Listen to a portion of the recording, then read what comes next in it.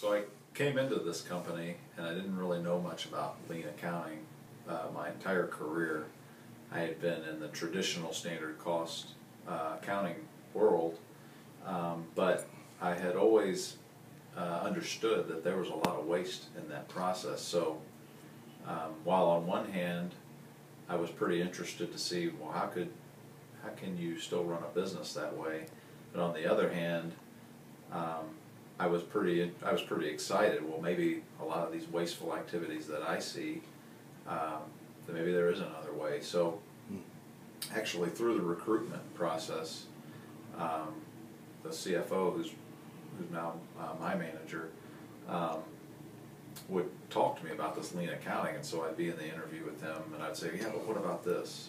And what about that? And how do you value inventories? And how do you, how can you do pricing?" And and what really struck me is that for each one of those arguments that I could come up with, there was a there was a logical counter argument too.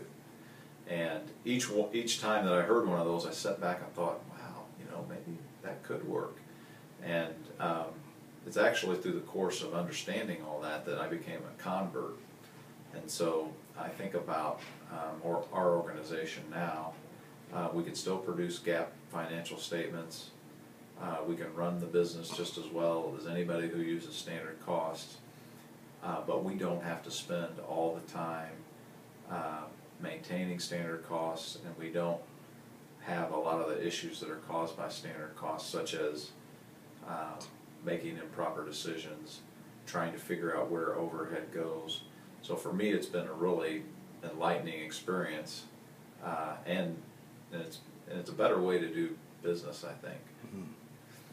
So if for some reason I had to leave this job and go to another company and I had to go back to the standard cost world, I don't think I'd be very happy about that. Um, I would, of course, want to go back to the lean accounting just for all the benefits I just mentioned, uh, but that this is truly a better way to do things. Mm.